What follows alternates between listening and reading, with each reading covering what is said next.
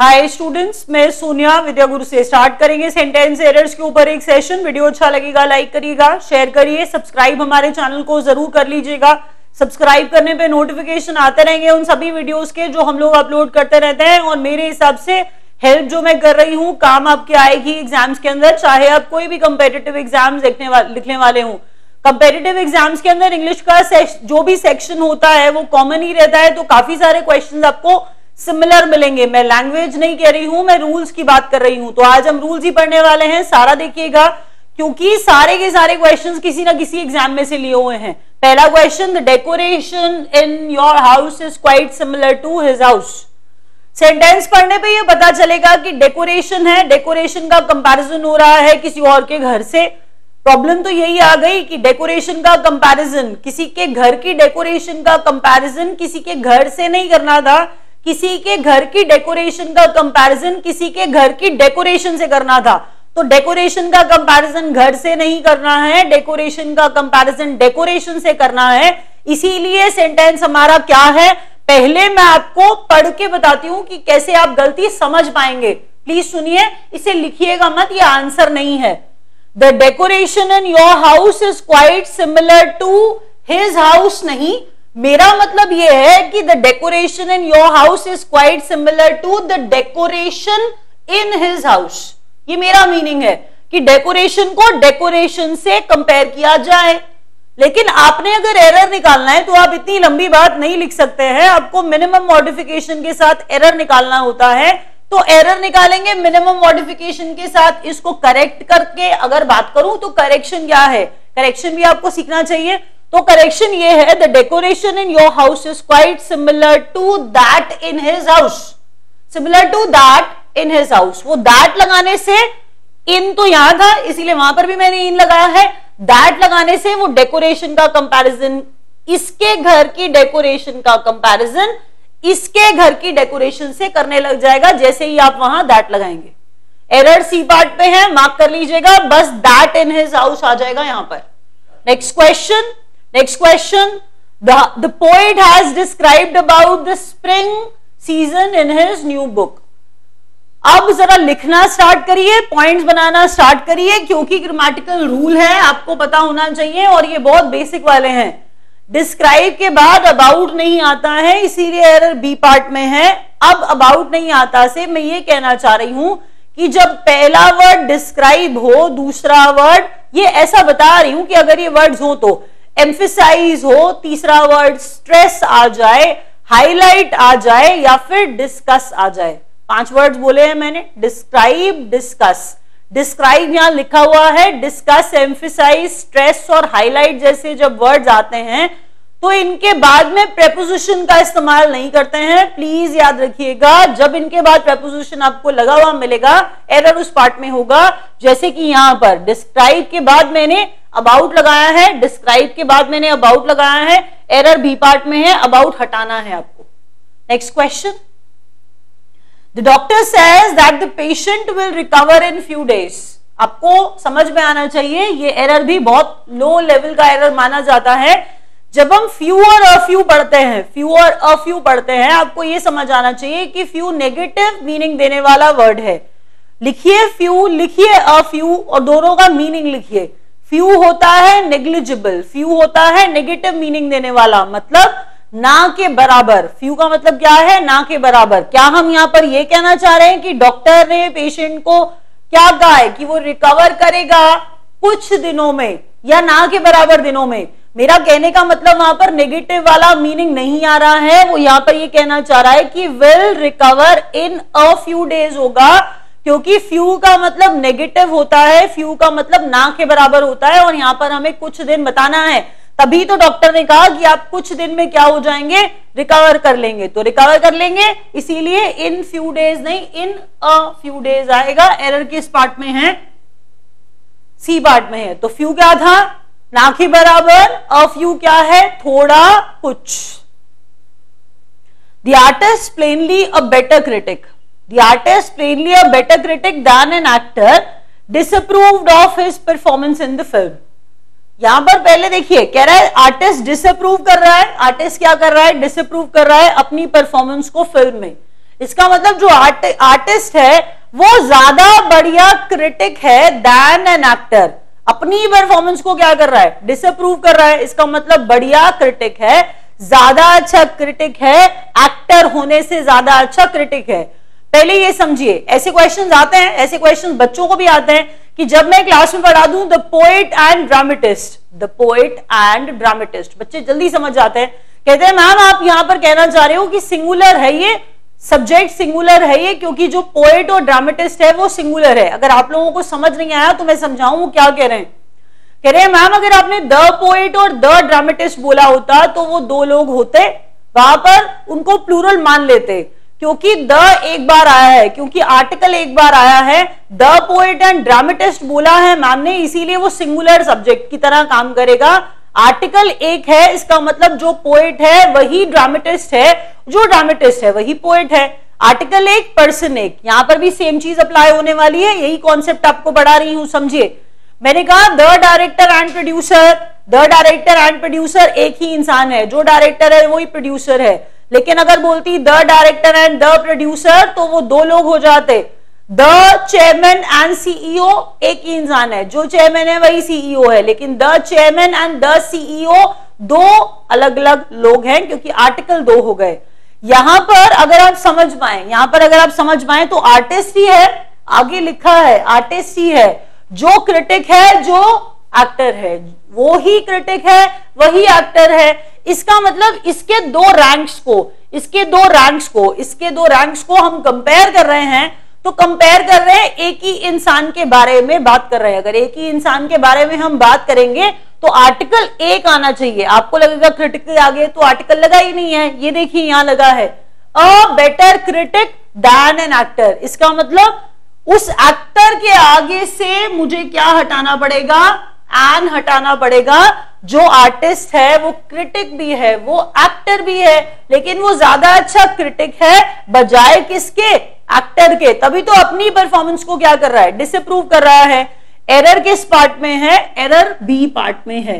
वैसे आपको पढ़ते ही पता लग जाना चाहिए था कि एक पर्सन है।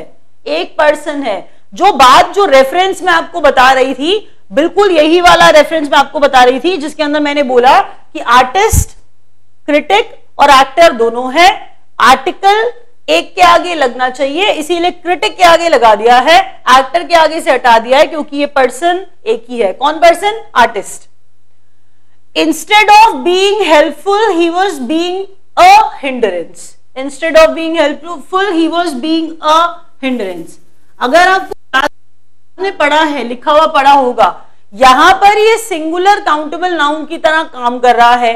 जैसे मैं बोलूँ he was an impediment he was acting as an impediment an impediment हमने कहा एन ऑब्स्टिकल यहाँ पर हम कहना यह चाह रहे हैं कि ऑब्स्टिकल की तरह an obstacle an obstacle in my way an obstacle an impediment रुकावट की बात हो रही है, रुकावट की बात हो रही है सिंगुलर काउंटेबल नाउन की तरह यहाँ काम कर रहा है, इसीलिए वहाँ पर अ हिंड्रेंस आएगा। Instead of being helpful he was being a याद रखिए singular countable noun error C part में है।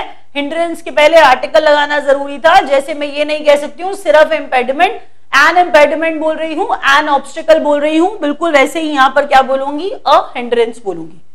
Due to me being a newcomer I was unable to get a good house newcomer है, कोई बात कर रहा है नए हाउस के बारे में, नए हाउस लेने के बारे में। अब हम ग्रामर के ऊपर फटाफट से जम करते हैं। देखिए ग्रामेटिकल रीजन ग्रामेटिकल रीजन यहाँ पर काफ़ी सारे स्टूडेंट्स मुझे लिखते हैं। मैम हम आए लिख देते हैं। हम कुछ भी मतलब चेंज करेंगे और कुछ बोलेंगे मैम मी तो बिल्कुल अच्छा ही लग रहा है। प्लीज़ सुनिए। ये रूल क्या है? ये रूल ये है कि ये एक जेरेंड है। ये क्या है? एक जेरेंड है। अगर आपको जेरेंड नहीं पता है, मैंने प्रीवियस वीडियोस में काफ़ी डिटेल में जेरेंड को पढ़ाया है। आपको सिर्फ़ इतना बता दूँ कि जब वर्ब की फ़र्स्ट फॉर्म आती है और उसके अंदर आईएनजी लग जाए तो वो जेरेंड बन जाता है। जेरेंड नाउन की तरह काम करता है। जेरेंड नाउन की तरह काम करता है। अगर आपको लगे कि ये तो वर्ब भी हो सकता है, देखिए, अगर हम वर्ब पहचानने लगेंगे, मैं आपको बता चुकी हूँ कि मैंने प्रीवियस वीडियोस में इनको बहुत डिटेल में पढ़ाया हुआ है। मैं आपको सिर्फ़ शॉर्ट में ये बता रही हूँ अभी कि जेरेंड वर्ब की फ़र्स्ट फॉर्म और आईएनजी होता है, जो सेंटेंस में वर्ब की तरह काम ना करके नाउन की तरह काम करता है। जब किसी सेंटेंस के अंदर जेरेंड आ जाता है तो उससे पहले पोजेसिव केस आता है। अगर अब आपको पोजेसिव केस नहीं आता है तो सुनिए। जब हम बोलते हैं आई माई मी आई माई मी पोजेसिव का मतलब होता है कोई चीज़ किसी के पोजेशन में होना कोई चीज़ किसी के अधिकार में होना जैसे मैंने कहा my book his car her notebook their classroom तो यहाँ पर पोजेशन वाली फीलिंग समझिए कि my or his her your their their कौन सा? T H E I R वाला। तो ये सारे के सारे पोजेसिव केसेस हैं। जब आप कोई जेरेंट देखें, उससे पहले आपको कोई पोजेसिव केस लगाना होगा। अगर मैं यहाँ पर ही या हिम लगाती अगर मैं यहाँ पर ही या हिम लगाती, आना क्या चाहिए था? हिज। अगर मैं यहाँ पर लगाती शी तो यहाँ पर आना चाहिए था हर। क्योंकि मैंने आपको क्या बताया कि जेरेंट से पहले क्या आता है? पोजेसिव केस तो पोजेसिव केस अगर आप एक बार नज़र मार पाए कहीं पर तो देखिएगा ज़रूर पोजेसिव जो पोजेशन दिखाएँ। वैसे मैंने आपको बता दिया my or your his her their it's ये कौन से केसेस हैं? पोजेसिव केसेस हैं। और यहाँ पर possessive case due to being a newcomer due to me being a newcomer ये बहुत अच्छा लगता है और सारे बच्चे कहते हैं कि बिल्कुल ठीक है। लेकिन आएगा क्या यहाँ पर? Due to my being newcomer क्योंकि बींग क्या है यहाँ पर? जेरेंड है और जेरेंड से पहले पोजेसिव केस लगाते हैं। Next question by the time she had finish work I had nearly given up all hope of reaching home in time यहाँ पर बात क्या चल रही है? देखिए, बात यह चल रही है यहाँ पर कि मैंने फिनिश कर दिया। यहाँ पर बात यह चल रही है कि जब तक ये ये दो चीज़ों को पैरेलली दिखा रहा है, दो चीज़ों को पैरेलली दिखा रहा है। एक कह रहा है कि वो जब तक काम फिनिश करेगी, जब तक वो फिनिश काम करती, तब तक मैंने क्या कर दिया था? तब तक मैंने गिव अप कर दिया था। गिव अप करने वाली बात और काम फिनिश करने वाली दो बातें हो रही हैं। आपको जज करना था, आपको देखना था कि कौन सा काम पास्ट में पहला एक्शन है और कौन सा दूसरा एक्शन है। पास्ट में जब दो एक्शन होते हैं, जब उनको आप क्लासिफाई कर पाते हो पहले और दूसरे की तरह कि एक पहला काम है और एक दूसरा काम है तो पहला एक्शन जब होता है तो उसके साथ आप लगाते हो हैड प्लस थर्ड फॉर्म और दूसरे एक्शन के साथ आप लगाते हो सेकेंड फॉर्म देखिए, मैं क्लास में भी ऐसी लैंग्वेज इस्तेमाल नहीं करना चाहती कि मैं बोल दूँ पास्ट परफेक्ट है या फिर सिंपल पास्ट है बच्चों को समझ नहीं आता। मैं इसीलिए आपको बहुत इजी लैंग्वेज में ये समझा रही हूँ कि अगर पास्ट में दो एक्शन होते हैं, दो एक्शन में पहला एक्शन जो होता है, वो हार्ड प्लस थर्ड फॉर्म लेता है और दूसरा एक्शन सेकेंड फॉर्म लेता है। मैं आपको वो समझाऊँगी थोड़ा और, लेकिन अभी पहले इसे देखिए। पहला एक्शन पता लगाइए। जब तक वो अपना काम खत्म करती तब तक मैंने क्या कर दिया था? गिव अप कर दिया था। पहले मैंने गिव अप किया। पहले मैंने गिव अप किया, इसीलिए मेरा गिव अप करना पहले है। इसीलिए had plus third form given had given up had given up यहाँ पर आएगा, ये ठीक है। लेकिन सेकेंड एक्शन के साथ सेकेंड फॉर्म आती है। सेकेंड एक्शन के साथ क्या आती है? सेकेंड फॉर्म आती है। ये आपको याद रखना होगा कि सेकेंड एक्शन के साथ सेकेंड फॉर्म आती है। मैं आपको एग्ज़ाम्पल के साथ समझाऊँगी, अभी इधर देखिए। By the time she had finished her work नहीं by the time she finished her work she finished her work by the time she finished her work I had nearly given up all hope of reaching home in time तो दो action दे, पहला action had plus third form लेता है second action second form लेता है हमने क्या बताया था? हमने कहा, जब तक वो काम खत्म करती, उससे पहले ही मैंने क्या कर दिया था? गिव अप कर दिया था। इस सेंटेंस में प्रॉब्लम ये होती है, बच्चे ये नहीं समझ पाते कि पहला एक्शन कौन सा है। पहला एक्शन वो था जिसमें गिव अप किया। पहले गिव अप किया और दूसरा एक्शन क्या था? काम खत्म करने वाला। तो काम खत्म बाद में हुआ है गिव अप पहले किया है, इसीलिए पहले वाले एक्शन के साथ हेड प्लस थर्ड फॉर्म और सेकेंड एक्शन के साथ सेकेंड फॉर्म एक कॉमन सा एग्ज़ाम्पल लेते हैं जल्दी से। पेशेंट के बारे में और डॉक्टर के बारे में बात होती हुई काफ़ी एग्जाम्पल्स आपको पहले भी दिए गए होंगे। कहा यह जाता है कि डॉक्टर पहुँचा पेशेंट को देखने, तब तक पेशेंट मर गया था। डॉक्टर पहुँचा पेशेंट को देखने, तब तक पेशेंट मर गया था। बात ये चल रही थी कि पेशेंट पहले मर गया था और डॉक्टर बाद में पहुँचे थे। इसीलिए द पेशेंट हैड डाइड होता है व्हेन द डॉक्टर रीच्ड यहाँ पर मैंने क्या कहा? द पेशेंट हैड डाइड क्यों हैड डाइड बोला? क्योंकि पेशेंट का मरना पहला एक्शन था।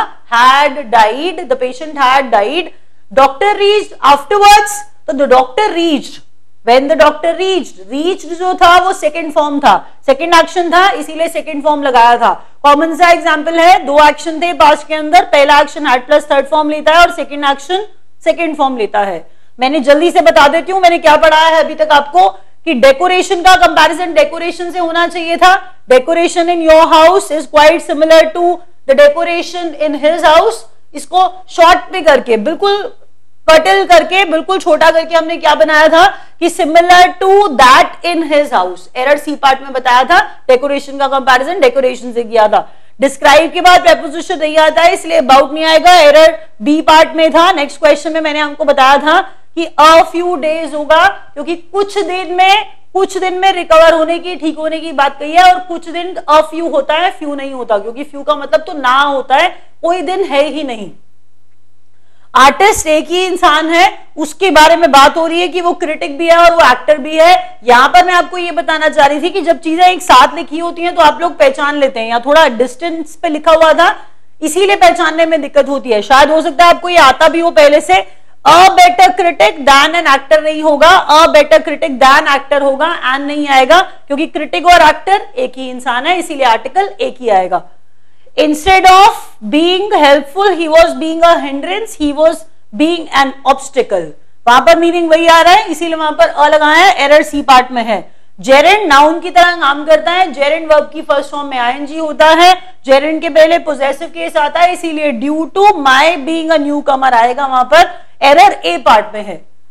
Next question by the time she finish her work I had nearly given up all hope of all hope of reaching home in time दो action हुए थे।